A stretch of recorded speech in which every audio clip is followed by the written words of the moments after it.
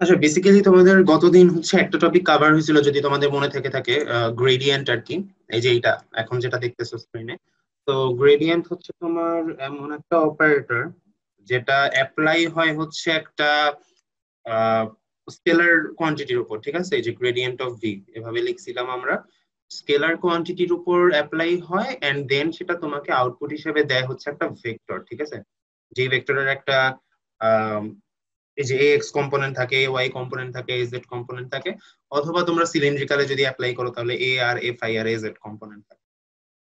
আজকে যেটা দেখব, সেটা হচ্ছে ডাইভারজেন্স ডাইভারজেন্সটা হচ্ছে অল্টারনেটিভলি সে হচ্ছে একটা ভেক্টরের উপর অ্যাপ্লাই হয় এন্ড আউটপুট দেয় হচ্ছে তোমাকে একটা স্কেলার ঠিক আছে? তো এটা দিয়ে কি মিন করে আসলে? তো কি মিন করে সেটা বলার আগে আমাদের একটা টার্ম একটু জানতে হবে, সেটা হচ্ছে ফ্লাক্স বা ফ্লাক্স লাইন এই জিনিসটা কি আইডিয়া আছে হোপফুলি সবার? যখন হচ্ছে আমরা কোনো একটা একটা ফোর্স ফিল্ড নিয়ে যখন কথা বলি সে ফর এক্সাম্পল তোমরা অলরেডি জানো যে আমরা যখন ইলেকট্রিক ফিল্ড নিয়ে কথা বলি, মনে করো তোমার কাছে একটা পজিটিভ চার্জ আছে। তো একটা পজিটিভ চার্জ যেই ফিল্ডটা ক্রিয়েট করে, সেটার ফ্লাক্স লাইনগুলা হচ্ছে আউটওয়ার্ড হয়, ঠিক আছে? এই, এরকম ডিরেকশনে হয়। তো পজিটিভ চার্জের জন্য ফিল্ডের ফ্লাক্স লাইন আউটওয়ার্ড সেটার মানে কি? এটার মানে হচ্ছে নর্মালি একটা ফিল্ডের মধ্যে মানে একটা ইলেকট্রিক এক্সিস্টিং ইলেকট্রিক ফিল্ড হোক বা অন্য যে কোনো ফোর্স ফিল্ড হোক, সেখানে ফোর্সটা অ্যাকচুয়ালি কোন দিকে কাজ করতেছে? ওইটা ডিনোট করার জন্য আমরা একটা সিস্টেম বের করি অ্যান্ড যেই ডিরেকশনে ফোর্স কাজ করবে, সেটা, সেই ডিরেকশন গুলাকে মানে সেই ডিরেকশন গুলাকে আমরা বলি হচ্ছে ফ্লাক্স লাইন মানে এগুলো বেসিক্যালি এক একটা ফোর্স লাইন আর তো ডেফিনিশনটা কীভাবে দেয় সেটা হয়তো তোমাদের মনে থাকার কথা। মনে করো এখানে যে ফিল্ড ক্রিয়েট করছে সেটা মনে করো একটা দশ কুলম্ব চার্জ ঠিক আছে? তো আমরা ফ্লাক্স লাইনগুলা কোন ডিরেকশন বরাবর আছে? অথবা একটা ইলেকট্রিক ফিল্ডের স্ট্রেংথ কত? সেটা মাপার জন্য কি করতাম? মনে করো সেটা থেকে একটা ডিস্টেন্সে একটা টেস্ট চার্জ জানতাম ওই টেস্ট চার্জের ভ্যালু কত থাকতো? ক্লাস ওয়ান কুলম্ব থাকতো। তো অরিজিনাল ফিল্ডের ভিতর তুমি এই টেস্ট চার্জটাকে ঢুকাইলে, সে কোন ডিরেকশনে ফোর্স মানে তার উপর ফোর্স এক্সার্ট হবে এবং কত, কতটুকু ফোর্স এক্সার্ট হবে, সেটা হইতেছে তোমার ওই পয়েন্টের ফোর্স ইনফরমেশন তাই না?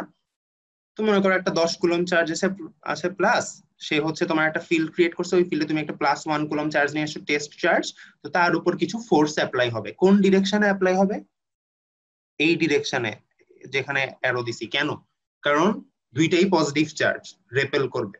তো এই যে দাগগুলা দিছি আমি এখানে অ্যারো চিহ্নগুলা দিছি, এগুলা দিয়ে আসলে বুঝায় এই ফিল্ডের মধ্যে পুরা ফিল্ডের মধ্যে আসলে কোন পয়েন্টে তুমি প্লাস ওয়ান কলম চার্জটাকে রাখলে সে কোন দিকে ফোর্স ফিল করবে। এখানে যদি প্লাস ওয়ান কে রাখো, সে এই ডিরেকশনে ফোর্স অ্যাপ্লাই পাবে নিজের উপর। এখানে প্লাস ওয়ান কলম রাখলে এই ডিরেকশনে ফোর্স অ্যাপ্লাই হবে, এখানে প্লাস ওয়ান রাখলে এই ডিরেকশন হবে, ইত্যাদি ইত্যাদি। তো এই লাইনগুলোকে বলে হচ্ছে গিয়ে ফ্লাক্স লাইন। এখন মনে করো তোমার ফিল্ড যে ক্রিয়েট করতেছে, সেই চার্জটা যদি একটা নেগেটিভ চার্জ হইতো, মনে করো একটা বড় সড়ো নেগেটিভ চার্জ আছে মাইনাস দশ কুলম। সেই ক্ষেত্রে ফ্লাক্স লাইনগুলা দেখতে কীরকম হইতো? ওইটা ওইটা বের করার জন্য আমরা হচ্ছে টেস্ট চার্জ কি প্লাস ওয়ান কুলম দিয়ে রাখব, মনে করো এখানে একটা প্লাস ওয়ান কুলম চার্জ তো এই প্লাস ওয়ান কুলম চার্জকে নেগেটিভ চার্জটা কোন দিকে? নিজের দিকে অ্যাট্রাক্ট করবে না? সো এই ডিরেকশনে ফোর্স এক্সার্ট হবে। এখানে রাখলে এই ডিরেকশন হবে, এখানে রাখলে এই ডিরেকশন হবে, এরকম আর কি। তো তার মানে আসলে যেটা হচ্ছে নেগেটিভ চার্জের ক্ষেত্রে আমার ফ্লাক্স লাইনগুলা কি? ওই সিমিলারলি মানে এখানে কি? একটা স্ফিয়ার ধরে সে হচ্ছে গিয়ে চারপাশে ছড়ায় পড়ছিল। এখানেও একটা স্ফিয়ার ধরে চারপাশে ছড়ানো বাট ফ্লাক্স লাইনের ডিরেকশনটা হচ্ছে ইনওয়ার্ড ইনওয়ার্ড হওয়া মানে কি? মানে ভিতরের দিকে মানে কোন একটা পজিটিভ টেস্ট চার্জ থাকলে তাকে সে ভিতরের দিকে টেনে আনবে, ঠিক আছে? তো ফ্লাক্স লাইনগুলা দেখতে হচ্ছে প্লাস চার্জের তুলনায় এই জন্য ডিফারেন্ট কারণ নেগেটিভ চার্জ একটা পজিটিভ চার্জকে অ্যাট্রাক্ট করবে আর পজিটিভ চার্জ একটা পজিটিভ চার্জকে রিপেল করবে, ঠিক আছে? সো এই জন্য হচ্ছে দাগগুলা দেখতে এমন। তো, এই যে ফ্লাক্স লাইন ইনফরমেশনগুলা, এটা আসলে কেন দরকার? এটা কিন্তু একটা মানে কাইন্ড অফ একটা ভেগ ইনফরমেশন আর কি। আমি কখনো রিয়েল লাইফে আমি কখনো আসলে বলতে পারি না যে একটা পজিটিভ চার্জ থেকে দশটা ফ্লাক্স লাইন বের হইতেছে। ঠিক আছে? এটার কোনো মানে নাই। কারণ আমি এখানে হয়তো আঁকছি হয়তো কয়টা? এক, দুই, তিন, চার, পাঁচ, ছয়, সাত, আট, নয়, দশ, দশটা লাইন আঁকছি। তার মানে কি? এর মাঝখানে মাঝখানে প্লাস ওয়ান কুলম চার্জ রাখলে কোনো ফোর্স অ্যাপ্লাই হবে না? হবে। এখানে আসলে আরও অসংখ্য লাইন আছে, ঠিক আছে? এগুলো ডিসক্রিট না। বাট জিনিসটা হচ্ছে আমাদের ক্যালকুলেশন অথবা থিওরিটিক্যালি জিনিসটা বুঝার ক্ষেত্রে হচ্ছে ফ্লাক্স লাইন কনসেপ্টটা হচ্ছে তোমাদের কাজে লাগে। ফ্লাক্স লাইনটা কেন কাজে লাগে এটা একটু যদি দেখি, মনে করো তুমি এখানে একটা প্লাস চার্জ আছে, তার ফ্লাক্স লাইনগুলা এটাকে সেন্টার করে চারপাশে ছড়ায় পড়তেছে। এখন মনে করো তুমি এই যে এই রিজিয়নটাতে মনে করো এখানে তুমি একটা প্লেন নিলা যে কোনো একটা র্যান্ডম প্লেন নিলা এই এই প্লেনের উপর তোমার মানে ফোর্সের অবস্থা কি রকম সেটা তুমি জানতে চাও। থিওরিটিক্যালি তুমি যদি ভ্যালুটা চিন্তা করো, এই এই প্লেনটার উপর, এই প্লেনটার মধ্যে দিয়ে আসলে কয়টা ফ্লাক্স লাইন অতিক্রম করতেছে? একটা, এই যে এখানে হচ্ছে একটা, তারপরে এখানে দুইটা, তিনটা আর হচ্ছে চারটা, তাই না? সো বেসিক্যালি এইখানে মানে তুমি যখন হচ্ছে কিছুটা ডিস্টেন্সে এই যে একটা প্লেন নিলা এই প্লেনের মধ্যে দিয়ে হচ্ছে এখন চারটা ফ্লাক্স লাইন এক্সিট করতেছে। ক্রস করতেছে আর কি তাকে। একটু আগে বলছি, চারটা মানে আসলে চারটা না মানে এর মাঝখান দিয়ে আরও অনেক ফ্লাক্স লাইন আছে বাট আমরা হচ্ছে ওই থিওরিটিক্যালি বোঝানোর জন্য আর কি চারটা হিসাব করতেছি। এখন মনে করো তুমি এই প্লেনটাকে ধরে একটু দূরে এখানে নিয়ে আসছো। ঠিক আছে? এই প্লেনটাকেই ধরে একটু এখানে নিয়ে আসছো। এখন এই প্লেনের মধ্যে দিয়ে আসলে কয়টা ফ্লাক্স লাইন ক্রস করতেছে, দুইটা, তাই না? তো এটা তোমাকে একটা ধারণা দেয় যে তুমি আসলে যত দূরে সরে যাইতেছো পজিটিভ চার্জ সোর্স চার্জটা থেকে, তত তোমার ফোর্সের ইয়ে কমতেছে ইন্টেন্সিটি কমতেছে, ঠিক আছে? তো ফ্লাক্স লাইন দিয়ে আসলে আমরা এই ইনফরমেশনটা হচ্ছে ভিজুয়ালাইজ করাইতে পারি, যে তোমার ফ্লাক্স লাইন ইনফরমেশনটা তোমাকে কি কাজে দিবে? এটা হচ্ছে তোমার আসলে কোন একটা রিজিয়নে মানে ফোর্সটা কতটুকু স্ট্রং সেটার একটা ধারণা দিবে, ঠিক আছে? মানে এখানে মনে করো এই প্লেনটার মধ্যে দিয়ে চারটা ফ্লাক্স লাইন অতিক্রম করতেছে। তাহলে তুমি কি? পার ইউনিট এরিয়ায় কয়টা ফ্লাক্স লাইন যায়? সেটা দিয়ে হচ্ছে স্ট্রেংথের একটা মেজার করতে পারো চাইলে।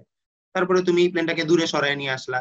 দূরে সরায় আনার পরে সেটার মধ্যে দিয়ে দুইটা ফ্লাক্স লাইন অতিক্রম করতেছে, তাই না? তো সেই ক্ষেত্রে তুমি কি? পার ইউনিট এরিয়াতে কয়টা ফ্লাক্স লাইন অতিক্রম করতেছে সেটার একটা হিসাব পাইতে পারো। অবভিয়াসলি সেটা কমবে। সোর্স থেকে যত দূরে সরে যাবা, তত এফেক্টটা কমে যাবে। সব ক্ষেত্রে হয়তো কেসটা সেম নাও হইতে পারে। যেমন মনে করো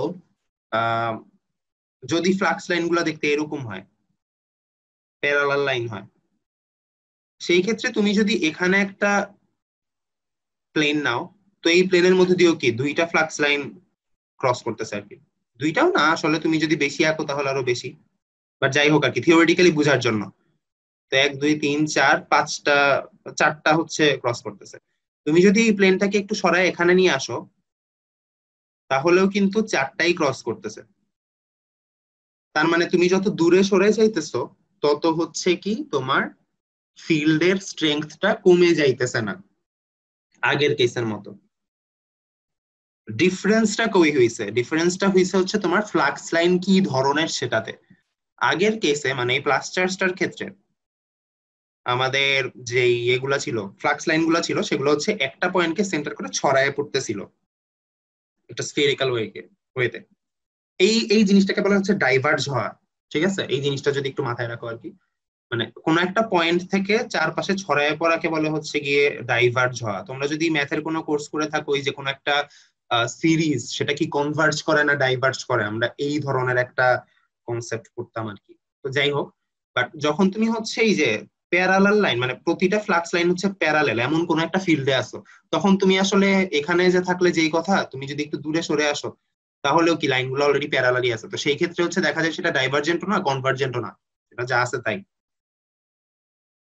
আচ্ছা এই যে এইটা, এই নেগেটিভ চার্জের ক্ষেত্রে হচ্ছে কনভার্জেন্ট হবে, ঠিক আছে? মনে করো এখানে একটা পয়েন্ট চার্জ আছে ফ্লাক্স লাইনগুলো যদি এরকম হয় ভিতরের দিকে আসতে থাকে, সেটাকে বলা হচ্ছে কনভার্জেন্ট মানে একটা পয়েন্টে কনভার্জ করতেছে আর কি। তো ডাইভার্জেন্স দিয়ে আমরা আসলে মোটামুটি এটাই বুঝাই যে তোমার কোন একটা পয়েন্ট থেকে বা কোন একটা ভলিউম থেকে কতগুলা ফ্লাক্স বের হয়ে যাইতেছে। ঠিক আছে? তো এইটার একটা মেজার হচ্ছে ডাইভার্জেন্স তো এটা আমাদের প্রায় লাগে। কেন লাগে সেটা একটু এক্সপ্লেন করে দিই। তো মনে করো তোমার কাছে একটা পজিটিভ চার্জ আছে পজিটিভ চার্জটা মনে করো এই যে সেন্টারে একটা পয়েন্টে আছে একটা পয়েন্ট চার্জ এখন মনে করো তুমি এটাকে সেন্টার করে একটা স্ফিয়ার নিছো। মানে এমন একটা স্ফিয়ার যে স্ফিয়ারের ভিতরে এই চার্জটা আছে, ঠিক আছে? তাহলে তুমি দেখবে এই স্ফিয়ার থেকে আসলে কিছু ফ্লাক্স বের হয়ে যাইতেছে, তাই না? একটা, দুইটা, তিনটা, চারটা, পাঁচটা, ছয়টা, সাতটা, আটটা, ঠিক আছে? এখানে আটটা ফ্লাক্স বের হয়ে যাইতেছে। তো এটা এরপরের কাজটা বোঝানোর আগে একটা এক্সাম্পল দিই। মনে করো তোমার এখানে একটা রুম আছে। এই রুমে হচ্ছে তোমার তিনটা মানুষ আছে। এখন এই রুমে এই পাশে একটা দরজা আছে ঢুকার জন্য, এই পাশে একটা দরজা আছে হচ্ছে বের হয়ে যাওয়ার জন্য। তো তোমার মনে করো এই রুমে আরও তিনজন ঢুকতেছে। আর দুইজন বের হয়ে গেল। ঠিক আছে? মানে একটা রুমে তিনজন বের হয়ে, তিনজন ঢুকছে দুইজন বের হয়ে গেছে। তো তিনজন ঢুকার পরে আসলে এখানে টোটাল কয়জন থাকবে? ছয়জন। আর দুইজন বের হয়ে যাওয়ার পরে কয়জন থাকবে এখন? চারজন থাকবে, তাই না? তো তাহলে আসলে এই রুমের ভিতরে টোটাল ফ্লাক্স মানে মানে মানে আমরা হচ্ছে ফ্লাক্স ইনওয়ার্ড ফ্লাক্স বা আউটওয়ার্ড ফ্লাক্স বলতে ওটাই বুঝাই আর কি। এখানে মানুষ দিয়ে চিন্তা করলে যেটা হয় আর কি। তো এই রুমে এখন টোটাল মানুষ ঢুকছে কয়জন টোটাল নিট হিসাব করলে। মানে আগে তিনজন ছিল, এরপরে নতুন আরও তিনজন ঢুকছে আর দুইজন বের হয়ে গেছে। তাহলে আমি নিট ইফেক্টে কি বলতে পারব? চার মানে একজন ঢুকছে নতুন, তাই না? এই কনসেপ্টটা কি বোঝা যায়? রুমে হচ্ছে তোমার আগে তিনজন ছিল এখন তিনজন ঢুকছে but at the same time দুইজন বের হয়ে গেছে। তার মানে আসলে টোটাল কয়জন ঢুকছে ভিতরে? একজন ঢুকছে। এই কথাটাকে যদি আমি এবার উল্টা ভাবে বলি, মনে করো তিনজন না ঢুকে তিনজন, দুইজন ঢুকছে আর তিনজন বের হইছে। মনে করো তোমার এই রুমেই এখন দুইজন নতুন ঢুকছে আর তিনজন বের হয়ে গেছে। তাহলে কত? তার মানে নিট এফেক্টে কি? একজন কমে গেছে। আমরা এটাকে বলি একজন বের হয়ে গেছে আর কি টোটাল আগের কেসে একজন ঢুকা মানে আমি বলতে পারি যে মাইনাস একজন বের হয়ে গেছে, তাই না? শুনতে অ্যাবসার্ড লাগে বাট ফ্লাক্সের ব্যাপারে আমরা আসলে ওই কনসেপ্টটাই ইউজ করব, ঠিক আছে?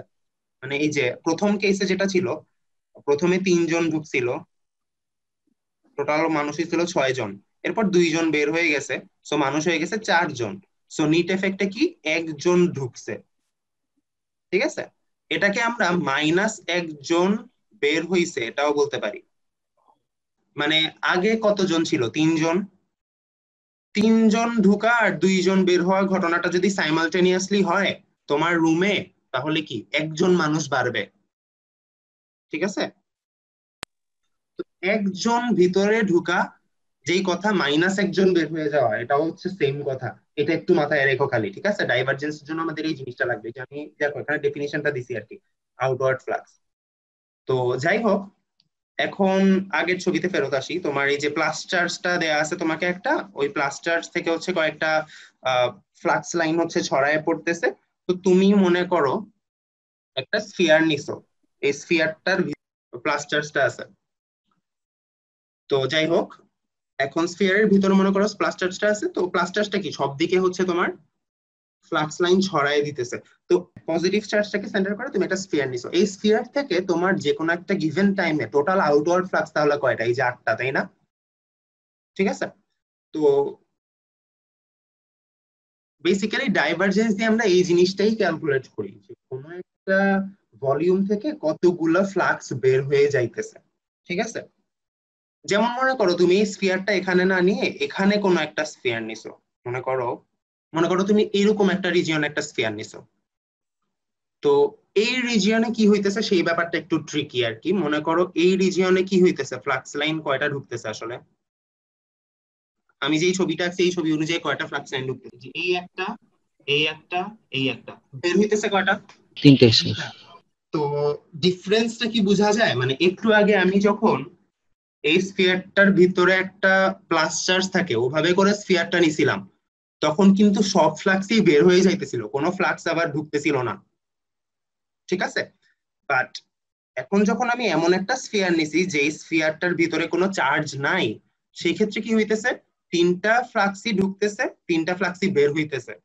তার মানে এই স্ফিয়ারটার জন্য নিট আউটওয়ার্ড ফ্লাক্স কত বলতো জিরো তার মানে অ্যাজ এ হোল কোন একটা ভলিউম থেকে ফ্লাক্স বের হইতেছে কি বাইর মানে বের হইতেছে কি ভিতরে ঢুকতেছে সেটা আমাদেরকে একটা ইন্ডিকেশন দেয় যে ওই ভলিউমটার ভিতরে কোনো চার্জ আছে কিনা। তো বেসিক্যালি দেখো, তুমি যখন মানে যখনই তুমি কোনো একটা নিট আউটওয়ার্ড ফ্লাক্সের ভ্যালু পাবা পজিটিভ হোক বা নেগেটিভ হোক, এই যে এটার ক্ষেত্রে পজিটিভ ছিল, যখন আমি এখানে স্ফিয়ারটা নিছিলাম, তখন আটটা নিট আউটওয়ার্ড ফ্লাক্স ছিল। ঠিক আছে? তো পজিটিভ আটটা পজিটিভ আট কেন? কারণ আটটা বের হয়ে যাইতেছে, আমরা সবসময় বাইরেরটাকে পজিটিভ ধরবো, আর ভিতরে আসাটাকে নেগেটিভ ধরবো। তো আটটা ফ্লাক্স বের হয়ে যাইতেছে, তার মানে কি? আমি একটা নন জিরো ভ্যালু পাইছি, তার মানে এই স্ফিয়ারটার ভিতরে একটা পজিটিভ চার্জ আছে। এমন একটা রিজিয়নে একটা স্ফিয়ার নিলাম, যেটার মধ্যে কোনো চার্জ নাই। সেই ক্ষেত্রে যতগুলো ফ্লাক্স ঢুকবে, ততগুলো ফ্লাক্স বের হবে। সো নিট আউটওয়ার্ড ফ্লাক্স হবে জিরো নিট আউট বা অল্টারনেটিভলি বলতে গেলে নিট আউটওয়ার্ড ফ্লাক্স যদি জিরো পাও, সেই ক্ষেত্রে ওই স্ফিয়ারের ভিতর কোনো মানে ওই ভলিউমের ভিতর কোনো চার্জ নেই। নেগেটিভ চার্জের ক্ষেত্রেও কিন্তু সিমিলার একটা এফেক্ট হবে। একটা নেগেটিভ চার্জের একটা ফিল্ড আছে, এখন একটা নেগেটিভ চার্জের ক্ষেত্রে আসলে সিমিলার অ্যাপ্রোচটা কাজ করে। আমি যদি মনে করো নেগেটিভ চার্জটাকে কন্টেইন করে একটা স্ফিয়ার নেই, তো এই স্ফিয়ারের ভিতরে এখন কি? এক, দুই, তিন, চার, পাঁচ, ছয়, সাত, আটটা। আটটা ফ্লাক্স ঢুকতেছে। তার মানে আসলে কয়টা ফ্লাক্স বের হইতেছে? মাইনাস আট, একটু আগেই বললাম। ঠিক আছে?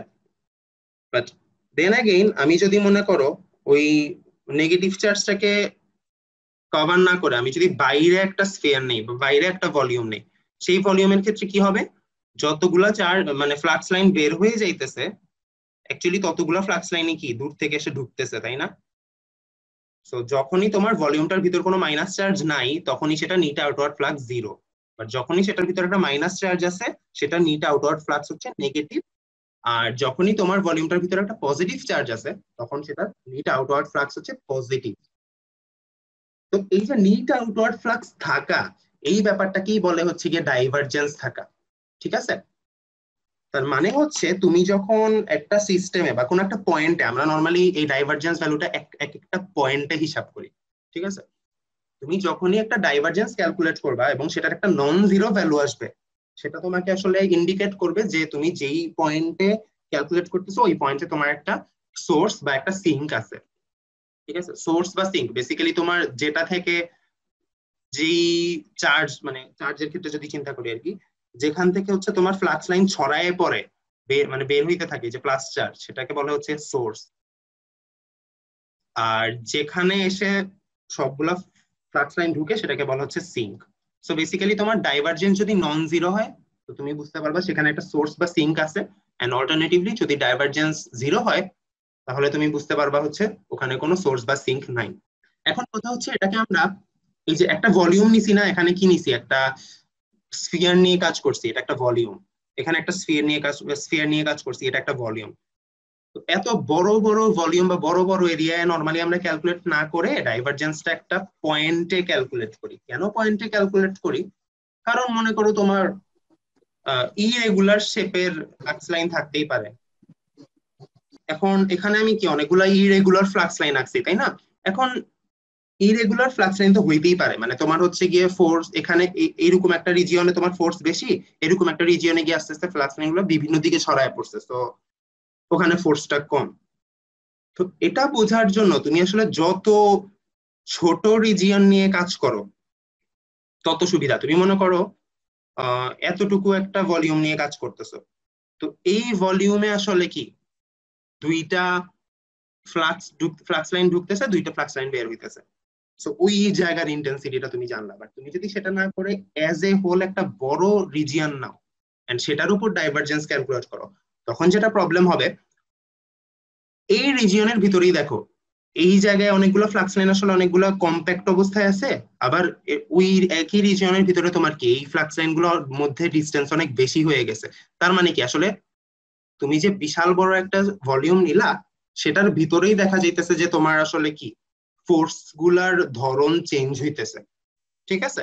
তো তুমি তখন কি, যদি বড় রিজিয়ন নিয়ে কাজ করো, তখন তুমি হচ্ছে ভিতরের যে চেঞ্জগুলা, সেগুলাকে আসলে কনসিডারেশনে আনতে পারবে না, অথবা তোমার ক্যালকুলেশনে সেটার এফেক্ট আসবে না। এই জন্য যত ছোট রিজিয়ন নিয়ে কাজ করা যায়, তত অ্যাকুরেট ডেটা পাবা। ঠিক আছে?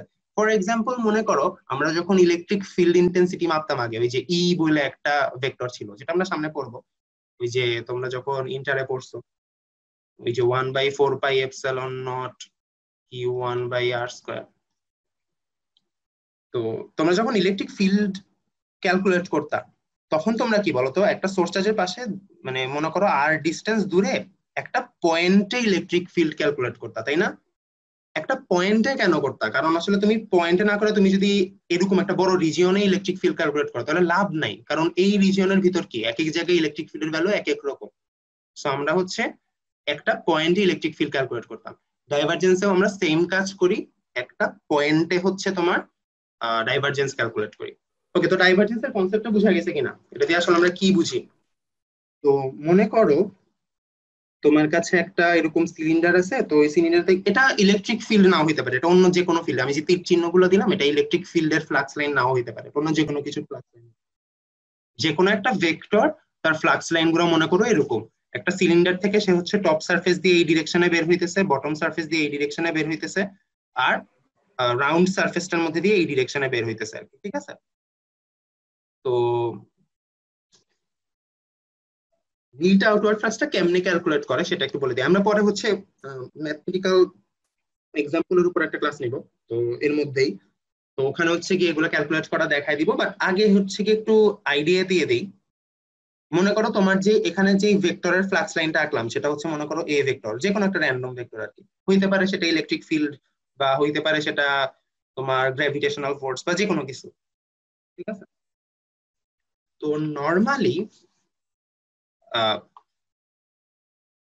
ফ্লাক্স লাইনের ক্ষেত্রে যখন একটু আগে বুঝাইতে গেছিলাম যে অ্যাকচুয়ালি ফ্লাক্স লাইন দিয়ে আমরা ইন্টেন্সিটিটা কেমনে বুঝি, তখন আমরা একটা প্লেন দিয়ে এক্সপ্লেন করছিলাম না? এই যে তোমার মনে করো অনেকগুলো ফ্লাক্স লাইনের দিকে যাইতেছে, তুমি একটা প্লেন নিলা সেটার পার ইউনিট এরিয়া দিয়ে কতটুকু ফ্লাক্স অতিক্রম করতেছে সেটা ক্যালকুলেট করলাম তাই না? এভাবে করে হচ্ছে আমরা ইন্টেন্সিটি মেজার করতে পারি। তো এখন যদি অল্টারনেটিভলি তুমি জানো যে পার ইউনিট এরিয়া দিয়ে কতটুকু ফ্লাক্স যাইতেছে, তাহলে আসলে টোটাল বড় একটা এরিয়ার মধ্যে দিয়ে কতটুকু ফ্লাক্স যাবে, সেটাও তুমি ক্যালকুলেট করতে পারবা। মানে একটা জানলে তুমি আর একটা ক্যালকুলেট করতে পারবা। তো সেই ক্ষেত্রে চিন্তা করো, আমরা যদি এই পুরা সিলিন্ডারের উপর একটা ছোট্ট একটা এলিমেন্ট নেই, মনে করো এখানে একটা ছোট এলিমেন্ট নিলাম। সার্কুলার সারফেসটার উপর আর কি। তো এই ছোট্ট এলিমেন্টার এরিয়া মনে করো ডিএস এরিয়া ভেক্টরের কথা মনে আছে? ডিএস মানে আমি যখন একটা ছোট এরিয়া নিব, সেটা যে একটা ভেক্টরে কনভার্ট করা যায়। মনে করো তোমার এরকম যদি একটা এরিয়া থাকে, একটা প্লেন থাকল বা একটা সারফেস থাকল, সেটার সেটাকে যদি আমরা ভেক্টর হিসেবে ডিক্লেয়ার করি, মনে করো এটা একটা এরিয়া ডিএস তো এটাকে যদি আমরা ভেক্টর হিসেবে ডিক্লেয়ার করি সেটা ডিরেকশনটা কোন দিকে থাকে? পারপেন্ডিকুলারলি আউটওয়ার্ডস তাই না? সেটা যে কোনো সারফেসই তুমি নাও না কেন? তো সিলিন্ডারের ক্ষেত্রে কি হয়? আমরা যখন সার্কুলার সারফেসের উপর কোনো একটা ছোট এরিয়া নেই, সেটার পারপেন্ডিকুলারটা কোন দিক বরাবর থাকে? রেডিয়াস বরাবর থাকে, যদি একটু মনে করে দেখো। আমরা যদি এখন এ ডট ডিএস ক্যালকুলেট করি, তাহলে আমরা আসলে কি পাবো বলতো? তোমার শুধু এই যে ছোট এরিয়াটা এইটার পারপেন্ডিকুলার বরাবর তোমার এ এর কতটুকু কম্পোনেন্ট আছে, তাই না? আমি যদি শুধু এ ডট ডিএস কনসিডার করি। ওই যে ছোট যেই এরিয়াটা নিলাম, সেটা বরাবর হচ্ছে তোমার কতটুকু কম্পোনেন্ট এর, সেটা বোঝাবে। তো এরকম কি? অনেকগুলো ডিএস আছে না?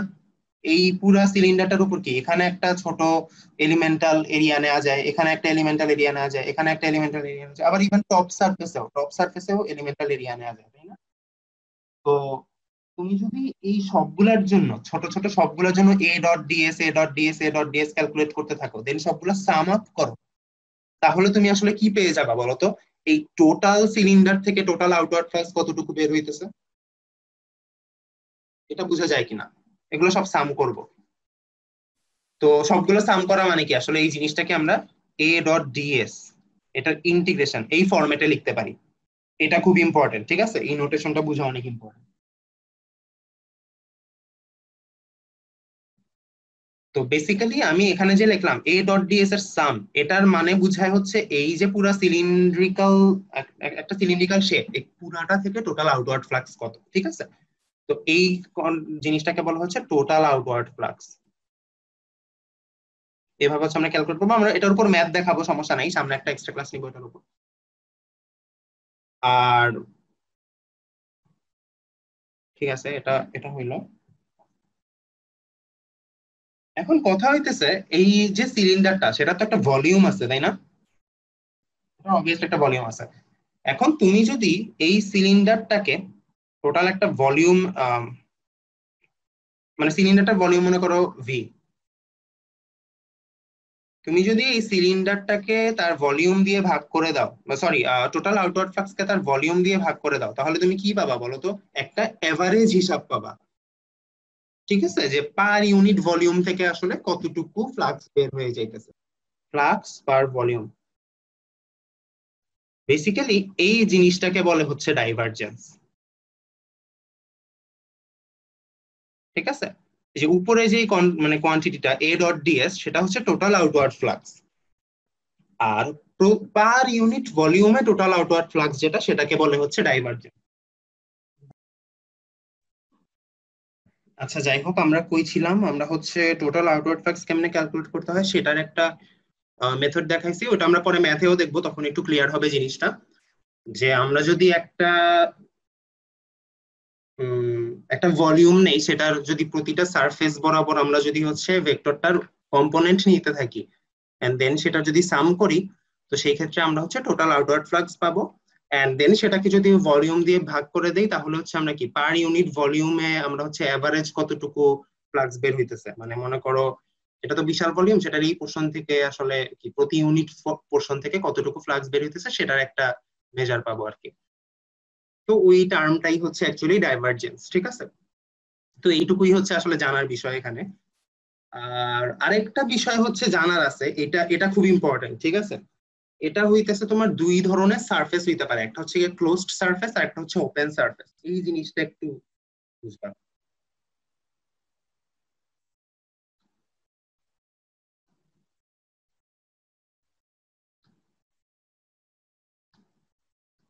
আমি বলি, তোমাদের হচ্ছে বেসিক্যালি ক্লোজড সারফেসটা হচ্ছে তোমার এমন একটা সারফেস যে কোনো ভলিউম এনক্লোজ করে, ঠিক আছে? ফুটবল হচ্ছে সবচেয়ে ভালো এক্সাম্পল আর কি। তো একটা ফুটবল, ফুটবলে কি হয় আসলে? সেটা একটা ভলিউম এনক্লোজ করে, তাই না? তার বাইরের এনভায়রনমেন্ট আর ভিতরের এনভায়রনমেন্টটা ডিফারেন্ট তাই না? মানে একটা হলোস্ফিয়ারের মতো আর কি সে বেসিক্যালি ঠিক আছে? তার বাইরেও বাতাস আছে, ভিতরেও বাতাস আছে বাট দুইটা হচ্ছে কি? তোমার একটা সারফেস দিয়ে সেপারেটেড তাই না? তো এই, এইরকম জিনিসগুলা, যেমন মনে করো এখানে আমি কি একটা সিলিন্ডার রাখছিলাম, তাই না?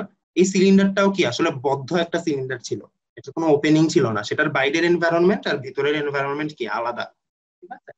যে সমস্ত সারফেস ভলিউম এনক্লোজ করে তাদেরকে বলা হচ্ছে ক্লোজড সারফেস ক্লোজড কেন বলে? কারণ সেটা হচ্ছে একটা ক্লোজ সিস্টেম বাইরের আর ভেতরের এনভায়রনমেন্ট আলাদা। ঠিক আছে? যেমন তুমি যখন একটা রুমে বসে থাকো রুমের দরজা দরজা জানালা সব যদি আটকায় দাও সেটা একটা ক্লোজড সিস্টেম আর কি বা ক্লোজড সারফেস তোমার রুমের সারফেসটা হচ্ছে একটা ক্লোজ সারফেস ওপেন সারফেস হচ্ছে যদি মনে করো তুমি এই ফুটবলটা কি মনে করো মাঝখান দিকে কেটে ফেললা তখন জিনিসটা দেখতে এরকম একটা বাটি শেপ হলো ঠিক আছে? বেসিক্যালি যেটা হবে তোমার এই জিনিসটা হচ্ছে তোমার একটা ওপেন সারফেস কেন?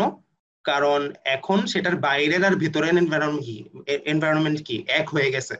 তাই না? সো এখন তাহলে কি এই ফুটবলের সারফেসটা আসলে মানে একটা ভলিউম এনক্লোজ করতেছে না। সো এটাকে বলে হচ্ছে একটা ওপেন সারফেস সিমিলার থিং যখন তুমি হচ্ছে রুমের দরজা জানালা খুলে রাখো, ঠিক আছে? তখন বাইরের আর ভিতরের এনভায়রনমেন্ট কি সেম হয়ে যায়। তো এটাই আর কি। এই জিনিসটা একটু মনে রাখতে হবে যে ডাইভারজেন্স যখন আমরা ক্যালকুলেট করি, আমরা একটা ক্লোজড সারফেসের উপর ক্যালকুলেট করি, ঠিক আছে? ক্লোজ সারফেসের উপর ক্যালকুলেট করি বলতে মানে এই যে এখানে আমরা কি করছি? একটা সিলিন্ডার থেকে কতটুকু ফ্লাক্স বের হয়ে যাইতেছে সেটা ক্যালকুলেট করতেছিলাম।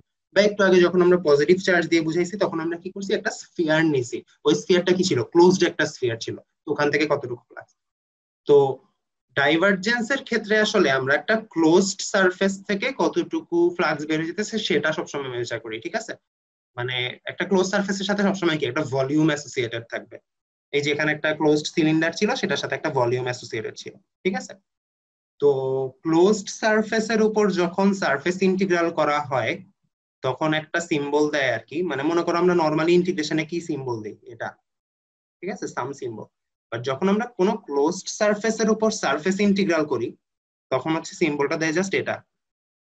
তো দিলেও হয়, না দিলেও হয়। তোমরা যদি পরীক্ষার সময় না দাও, কোনো সমস্যা নাই। বাট এটা দিলে আর কি জিনিসটা বোঝা যায় যে আমি একটা ক্লোজ সারফেসের উপর ইন্টিগ্রেশন ক্যারি আউট করতেছি। তো বইয়ে দেখবা অনেক সময় এটা করছে। এটা করলে বুঝতে সুবিধা হয় আর কি। ঠিক আছে? তো এই যে আমরা ডাইভারজেন্স ক্যালকুলেট করি ডাইভারজেন্সের সূত্রটা, সেখানে আমরা কি করি? একটা ক্লোজড সারফেসের উপর কি? টোটাল আউটওয়ার্ড ফ্লাক্স মেজার করি না? তো এই জন্য এটার ইন্টিগ্রেশনে দেখব একটা রাউন্ড সাইন দেয়া। ঠিক আছে? তো আমি বলি, তোমাদের এই যে রাউন্ড সাইনটা ইন্টিগ্রেশনের রাউন্ড সাইন এটা তোমাদের শুধু কই ইম্পর্টেন্ট যদি আমি কখনো তোমাদের কাছে ডাইভারজেন্সের ডেফিনিশন কার্লের ডেফিনিশন তারপরে একটু পরে আসবে ডাইভারজেন্স থিওরেম বা স্টোকস থিওরেম এগুলা জানতে চাই। ওগুলোর বিবৃতি গুলার সময় খালি হচ্ছে তোমার এই সিম্বলটা ঠিক রাখা লাগবে। এই ছাড়া বাদ বাকি তুমি ম্যাথ করার সময় এই সিম্বল দাও বা না দাও, সেটাতে কিছু যায় আসে না, ঠিক আছে? ওকে তো এটা গেল। তাহলে আমরা হচ্ছে গিয়ে ডাইভারজেন্সের একটা ডেফিনেশন পাইলাম। ডাইভারজেন্স কেমনে ক্যালকুলেট করতে হয় সেটার একটা আইডিয়া পাইলাম। এখন জাস্ট যেটা লাগবে সেটা হচ্ছে ডাইভারজেন্স ক্যালকুলেট করার জেনারেল ফর্ম আর কি। তো জেনারেল ফর্মের প্রুফ আমি দেখাবো না, ওইটার প্রুফ দেখার দরকার নেই, তোমরা জাস্ট একটা ফর্মুলা মনে রাখবা। আমাদের মেইন কাজ হচ্ছে গিয়ে তোমার এই মানে ফর্মুলাটা অ্যাপ্লাই করে ডাইভারজেন্স ক্যালকুলেট করা আর কি। এটার প্রুফ হচ্ছে ম্যাথের সাব ম্যাথের পার্ট ওটা আমাদের এই কোর্সের পার্ট না। সো ওটা বাদ। মনে করো যে কোনো একটা ভেক্টর এ যদি থাকে, সেটা ডাইভারজেন্সের ডেফিনিশন হচ্ছে তোমার টোটাল আউটওয়ার্ড ফ্লাক্স যে ভলিউম নিয়ে কাজ করতেছো ডিভাইডেড বাই ওটার পুরো ভলিউম আর কি। মানে outward flux per unit volume আচ্ছা। এটা হচ্ছে জাস্ট মানে ডিফাইনিং একটা ইকুয়েশন আর কি বাট এটা এটা দিয়ে হচ্ছে আমরা কখনো ডাইভারজেন্স ক্যালকুলেট করব না, আমরা হচ্ছে এই নিচের জেনারেল ফর্মটা দিয়ে হচ্ছে ডাইভারজেন্স ক্যালকুলেট করব।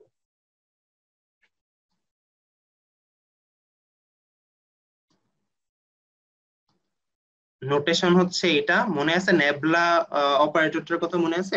আমরা যখন গ্রেডিয়েন্ট বের করতাম গ্রেডিয়েন্ট অফ এ স্কেলার মনে করো স্কেলারটা ভি সেটাকে আমরা লিখতাম হচ্ছে এভাবে ন্যাবলা বা del operator v directly but যখন আমরা ডাইভারজেন্স অফ এ মানে এ বের করব, তখন আমরা কি আসলে একটা ভেক্টরের উপর অ্যাপ্লাই করতেছি।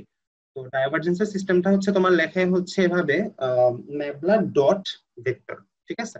এই নোটেশনগুলো একটু ইম্পর্টেন্ট তোমরা অনেক সময় নোটেশনগুলোর মধ্যে মানে এই দিক ওই দিক কইরা ফেলো সো ওই ওইখানে হচ্ছে কি একটু সাবধান থাকবা। ফর্মুলাটা লিখে দিই ফর্মুলাটা হচ্ছে মনে রাখবা। এটা হচ্ছে জেনারেল ফর্মুলা এখান থেকে আমরা হচ্ছে বিভিন্ন কার্টেসিয়ান মানে সরি বিভিন্ন কোঅর্ডিনেট সিস্টেমের জন্য ফর্মুলাটা এক্সটেন্ড করব।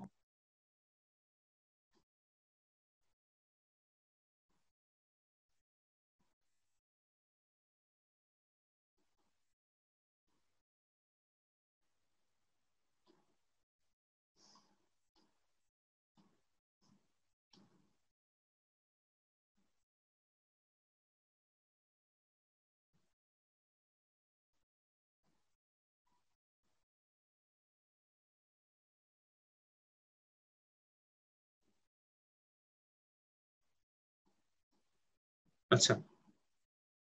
তো h one h two h three কি সেটা মনে থাকার কথা? এগুলো ছিল হচ্ছে কনভার্সন ফ্যাক্টর আমরা যখন ডিফারেন্সিয়াল লেংথ এর টপিক করছিলাম তখন ওখানে দেখছিলাম যে আমাদের প্রতিটা কোঅর্ডিনেট সিস্টেমের জন্য কিছু কনভার্সন ফ্যাক্টর আছে। তো মনে করো তুমি যদি স্ফেরিক্যাল সিস্টেমের জন্য কাজ করো স্ফেরিক্যাল সিস্টেমের জন্য ডাইভারজেন্স বের করতে চাও, তো সেই ক্ষেত্রে তোমার এইচ ওয়ানের ভ্যালু হচ্ছে ওয়ান এইচ টু এর ভ্যালু ছিল হচ্ছে আর আর থ্রি এর ভ্যালু ছিল হচ্ছে আর সাইন থিটা এটা যদি তোমরা একটু মনে করে দেখো আর কি সিলিন্ড্রিক্যাল সিস্টেমের জন্য ছিল এইচ ওয়ানের ভ্যালু ওয়ান এইচ টু এর ভ্যালু আর আর এইচ থ্রি এর ভ্যালু হচ্ছে ওয়ান এরকম ইউ ওয়ান ইউ টু আর ইউ থ্রি কি ছিল? ওটা ছিল হচ্ছে তুমি যেই কোঅর্ডিনেট সিস্টেমে আসো ওই কোঅর্ডিনেটের ভ্যারিয়েবলগুলা। যদি তোমার স্ফেরিক্যাল সিস্টেম হয়, তাহলে ইউ ওয়ান হচ্ছে তোমার ক্যাপিটাল আর তারপর ইউ টু হচ্ছে তোমার থিটা আর ইউ থ্রি হচ্ছে ফাই এরকম আর কি আর A one A two A three কি? এটা হচ্ছে সিম্পলি তুমি যেই ভেক্টরটার জন্য ডাইভারজেন্স বের করতে চাও, ওই ভেক্টরের কম্পোনেন্টগুলা। ঠিক আছে? যদি তোমার স্ফেরিক্যাল সিস্টেম হয়, এটা হচ্ছে তোমার এ আর কম্পোনেন্টের ভ্যালু এটা হচ্ছে এ থিটা কম্পোনেন্টের ভ্যালু আর এটা হচ্ছে এ ফাই কম্পোনেন্টের ভ্যালু এগুলো তো মনে আছে, মনে হয় না?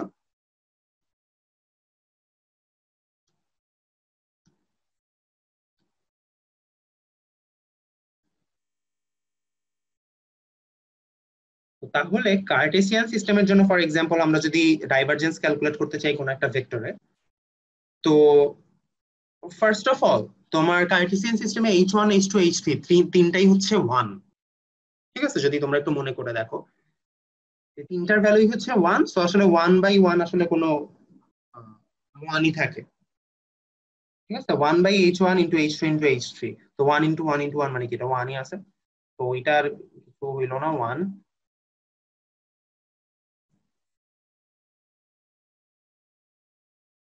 ইউ ওয়ান হচ্ছে এক্স, এইচ টু আর এইচ থ্রি কি? দুইটাই ওয়ান। সো আর এ ওয়ানটা কি? এ এক্স। দেন সেকেন্ডটা হচ্ছে তোমার d d y,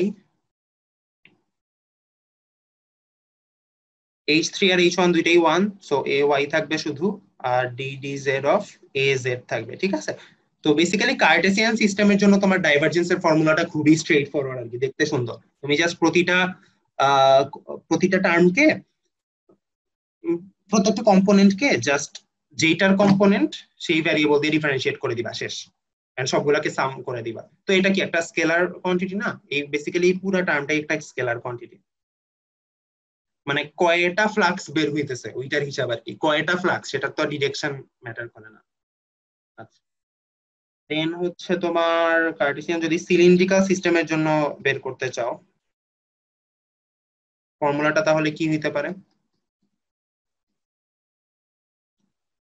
সিলিন্ড্রিক্যাল সিস্টেমে এইচ ওয়ানের ভ্যালু হচ্ছে ওয়ান এইচ টু এর ভ্যালু হচ্ছে আর আর এইচ থ্রি এর ভ্যালু হচ্ছে one so h one h two h three এর ভ্যালু হচ্ছে আর তাই না? One into r into one এখানে একটা আর দিয়ে ভাগ থাকবে। দেন ফার্স্টটা হচ্ছে ddr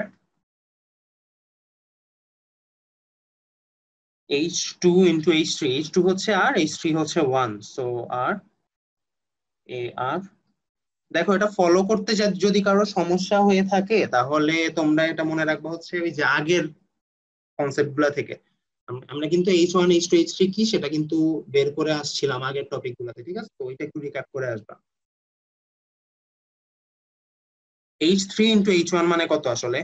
one into one so এখানে খালি এফ আই ছাড়া আর কিছু থাকবে না। আর ডিডি জেড এ থাকবে কি? তোমার এইচ ওয়ান হচ্ছে ওয়ান আর এইচ টু হচ্ছে r so basically r A z ঠিক আছে?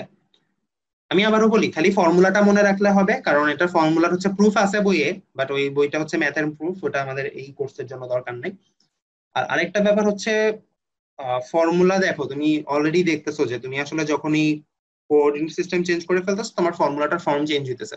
ওইটার থেকে আমরা হচ্ছে জেনারেল ফর্মুলা মনে রাখাটা মনে হয় বেশি সুবিধা, ঠিক আছে? ফার্স্টে তুমি কি h one h two h three এর মাল্টিপ্লিকেশনের যে রেজাল্ট সেটা দিয়ে ভাগ করে দিবা টোটাল রেজাল্টকে টোটাল রেজাল্ট অ্যাকচুয়ালি কি? প্রথম ভ্যারিয়েবল দিয়ে যখন তুমি ডিফারেন্সিয়েট করবা, তখন সেটার সাথে মাল্টিপ্লিকেশন মানে মাল্টিপ্লাই হিসেবে থাকবে হচ্ছে সেকেন্ড আর থার্ড ভ্যারিয়েবলটার কনভার্সন ফ্যাক্টর তুমি যদি সেকেন্ড ভ্যারিয়েবলটা দিয়ে ডিফারেন্সিয়েট করতে চাও, সেটার সাথে থাকবে হচ্ছে থার্ড আর ফার্স্ট ভ্যারিয়েবলটার কনভার্সন ফ্যাক্টর এভাবে আর কি মনে রাখবা। স্ফেরিক্যাল সিস্টেমের জন্য যদি তুমি ডাইভারজেন্স ক্যালকুলেট করতে চাও, তাহলে ওয়ান বাই কত হবে সেটা কি বল মানে বোঝা যায় এখান থেকে? এইচ ওয়ান হচ্ছে ওয়ান স্ফেরিক্যাল সিস্টেমের জন্য এইচ ওয়ান হচ্ছে ওয়ান এইচ টু হচ্ছে আর আর এইচ থ্রি হচ্ছে আর সাইন থিটা এটা আবারও বলতেছি, যারা কনফিউশনে আসো তারা একটু দেখে নিবা, ঠিক আছে? তো h one h two into h three এটার রেজাল্ট কত হবে? আর স্কোয়ার সাইন থিটা আচ্ছা তারপরে ফার্স্ট ভেরিয়েবলটা কি? ডিডিআর তাই না? ডিডিআর আর h two into h three মানে কত? R square sine theta and A one মানে হচ্ছে এ আর দেন সেকেন্ড ভ্যারিয়েবলটা হচ্ছে হচ্ছে ডি থিটা তো থিটার জন্য আমার কি আসবে? H h three into h one তো এইচ থ্রি ইন্টু এইচ ওয়ানের রেজাল্ট আসলে কত? আর সাইন থিটা আর সাথে মাল্টিপ্লাই হিসেবে থাকবে হচ্ছে এ এ থিটা আর হচ্ছে যদি তুমি ডি ডি ফাই করো h one into h two h one আর এইচ টু গুণ করলে কত হয়? আর হয়। সো আর ফাই দেখো এই ফর্মুলা গুলা বুঝা গেছে কিনা? তোমাদের জেনারেল ফর্মুলাটা মনে রাখলেই হবে। জি স্যার বুঝতে পেরেছি। বুঝতে পারছি বাট স্যার ওই যে one by h one h two h three এটা বাইরে না লিখে আমরা চাইলে তো ভিতরে স্যারগুলো তো কাটাকাটি হয়ে যায় জাস্ট একটাই থাকে কাটাকাটি হয় না কিন্তু কাটাকাটি হয় না কিন্তু। তুমি দেখো যখন মনে করো কাটাকাটি হয় না অ্যাকচুয়ালি তুমি যখন ডিফারেন্সিয়েট করতেছো মনে করো এই যে এই টার্মটা এই টার্মটা দিকে খেয়াল করো। আর এই রেসপেক্টে খেয়াল করলে কি? আরও একটা ভ্যারিয়েবল না? সো তোমাকে ডিফারেন্সিয়েট করে বের করে তারপরে কাটাকাটি করতে হবে। আচ্ছা আচ্ছা বুঝতে পারছি স্যার তো আমি বলি এখান থেকে আসলে টেক অ্যাওয়ে কি কি? ডাইভারজেন্স কনসেপ্টটা থেকে তোমার টেক অ্যাওয়ে হচ্ছে গিয়ে এটার ডেফিনিশনটা এটা বইয়ে দেখে নিবা একটু। ফর্মুলাটা ঠিক মতো দেয়া আছে। সেটা অ্যাকচুয়ালি কি মিন করে সেটা একটু নিজের ভাষায় বলতে পারতে হবে ঠিক আছে? আমি প্রায় এগুলো জানতে টানতে চাই পরীক্ষার সময়। তো সেটা অ্যাকচুয়ালি কি মিন করে ডাইভারজেন্স নেগেটিভ হওয়া মানে কি পজিটিভ হওয়া মানে কি জিরো হওয়া মানে কি সেই সব জিনিস একটু বোঝার দরকার আছে। এন্ড এই জেনারেল ফর্মুলাটা বেসিক্যালি এটা দিয়ে হচ্ছে আমরা ক্যালকুলেট করব। ঠিক আছে? আচ্ছা আমরা যখন ডাইভারজেন্স কে ডিফাইন করলাম একটু আগে, সেটা আমরা কীভাবে ডিফাইন করছি? Net flux net outward flux আর কি। তো এটা আর বললাম না। নিট ফ্লাক্স পার ভলিউম তাই না? তো মনে করো তোমার কাছে একটা স্ফিয়ার আছে, এই স্ফিয়ারটা টোটাল ভলিউম দিয়ে কতটুকু ফ্লাক্স বের হইতেছে সেটা তুমি ক্যালকুলেট করতে চাও। মনে করো এখান থেকে যতটুকু টোটাল ফ্লাক্স বের হয়ে যাইতেছে সেটা তোমাকে কোনো একটা ম্যাথে ক্যালকুলেট করে দিতে বলল। টোটাল ফ্লাক্স মানে পার ভলিউম না ডাইভারজেন্স না টোটাল ফ্লাক্সটা বের করে দিতে বলল। ঠিক আছে? তো একটা উপায় অবশ্যই তোমাকে আমি আগে যেটা বলছিলাম, যে তুমি যদি এ ডট ডিএস করো দেন সেটার ইন্টিগ্রাল করো আর কি। তুমি কি পেয়ে যাবা? মানে সারফেস ইন্টিগ্রাল এটা অবভিয়াসলি তাই না? তো তুমি যদি এই টোটাল স্ফিয়ারিক্যাল সারফেসটার উপর যদি এ ডট ডিএস করো এন্ড দেন সেটাকে সাম করো মানে ইন্টিগ্রেশনটা করো, তাহলে তুমি কি? টোটাল ফ্লাক্স পেয়ে যাবা। অথবা তুমি আরেকটা কাজ করেও এই টোটাল ফ্লাক্সটা বের করতে পারো। দেখো, আমি মনে করো ডাইভারজেন্সটাকে ডিফাইন করছি কীভাবে? পার ইউনিট ভলিউম এই যে এই পুরো ভলিউমটা আছে, সেটার এতটুকু ভলিউম দিয়ে কতটুকু ফ্লাক্স বের হয়ে যেতেছে, সেটাই তো তার ডাইভারজেন্স বা এতটুকু ভলিউম দিয়ে কতটুকু ফ্লাক্স বের হয়ে যেতেছে, সেটাই তো তার ডাইভারজেন্স আমি যদি এই ডাইভারজেন্স টার্মটাকে নিয়ে ডাইভারজেন্স কি? পার ভলিউম তো সেটাকে আমি যদি টোটাল ভলিউমের উপর ইন্টিগ্রেট করি, তাহলে আমার কি টোটাল ফ্লাক্সটা বের হয়ে যাওয়া উচিত না? তো তুমি যদি কোন একটা সিস্টেমের মানে কোন একটা ভেক্টরের ডাইভারজেন্সটা বের করে রাখো, মনে করো এটা হচ্ছে ডাইভারজেন্সটা বের করে রাখলা দেন তোমাকে যেই ভলিউমটা দিছে সেই টোটাল ভলিউমের উপর তুমি একটা ভলিউম ইন্টিগ্রাল চালাইলা। তাহলেও কি হবে? তুমি আসলে টোটাল ভলিউম থেকে টোটাল কতটুকু ফ্লাক্স বের হয়ে যেতেছে সেটারই একটা হিসাব পাবা, তাই না? আই মিন এখানে আসলে কাহিনীটা কি হইতেছে? ডাইভারজেন্সের ইউনিট কি? আসলে নিট ফ্লাক্স পার ভলিউম সেটাকে যখন তুমি একটা ভলিউম দিয়ে গুণ করতেছো, তখন আসলে কি? ভলিউম আর ভলিউম কাটা চলে যে তোমাকে টোটাল ফ্লাক্সটা দিচ্ছে, তাই না? এটাই। তো আসলে আমি এ ডট ডিএস দিয়ে যেই জিনিস ক্যালকুলেট করতেছি টোটাল ফ্লাক্স ডাইভারজেন্সের ভলিউম ইন্টিগ্রাল মানেও কিন্তু আসলে সেম জিনিসই মিন করে টোটাল ফ্লাক্স ডাইভারজেন্স থিওরেম যেটা বলে যে এই দুইটা টার্ম আসলে সেম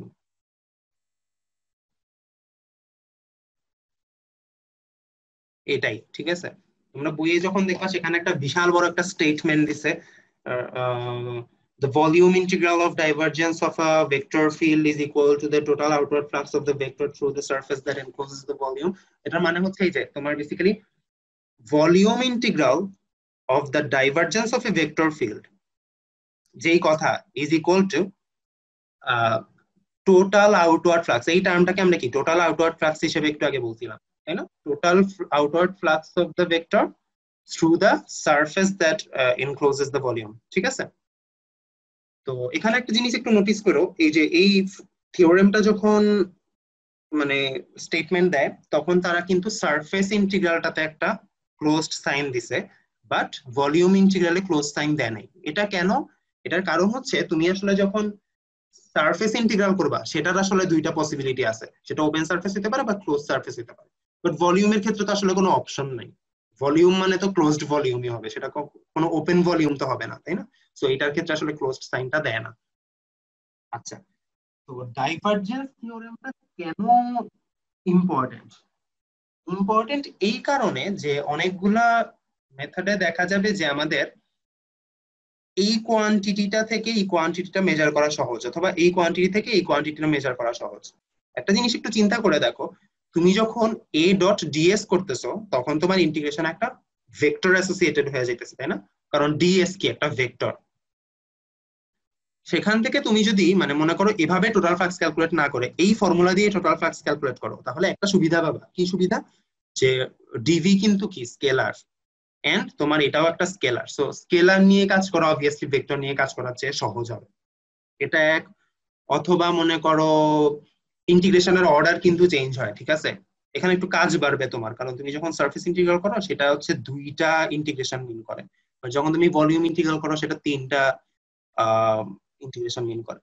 এটা ডিপেন্ড করবে আর কি। তুমি আসলে কোন ফর্মুলা ইউজ করে বের করবা, সেটা ডিপেন্ড করবে তুমি আসলে মানে কোন দিক দিয়ে তোমার কাজটাকে সহজ করতে চাইতেছো ওইটার আচ্ছা বেসিক্যালি এখানে যেটা লিখছি, এই জিনিসটা হচ্ছে তোমার ডাইভারজেন্স থিওরেম তো এটা একটু মনে রাখতে হবে, ঠিক আছে?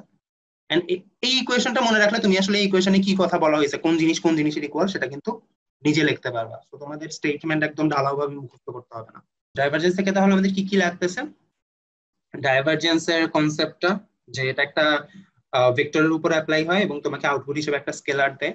সেটা কি মিন করে? তোমার প্রতি ইউনিট ভলিউম থেকে কতটুকু ভেক্টর সরি কতটুকু ফ্লাক্স বের হয়ে যেতেছে সেটা মিন করে। দেন সেটার কোয়ান্টিটেটিভ ডেসক্রিপশনটা ডেফিনেশনটা কীরকম? এই যে, এই জিনিসটা। তারপর ভিতরের কথাবার্তা ডাইভারজেন্স জিরো হইলে কি হয় ওয়ান হইলে কি হয়, বা মাইনাস ওয়ান হইলে কি হয়। তারপর, আর হচ্ছে ডাইভারজেন্স থিওরেম তোমার বেসিক্যালি এই স্টেটমেন্টটা ঠিক আছে? তো ডাইভারজেন্স থেকে খালি এতটুকুই আছে। এন্ড দেন কার্ল থেকে আসলে সিমিলার এতটুকু জিনিস আছে। তো আমি এরপরে যে টপিকে যাব, সেটা হচ্ছে তোমার কার্ল